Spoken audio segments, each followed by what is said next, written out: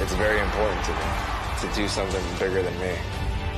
I get to educate, enlighten, be the light in the dark. I have this calling about what I represent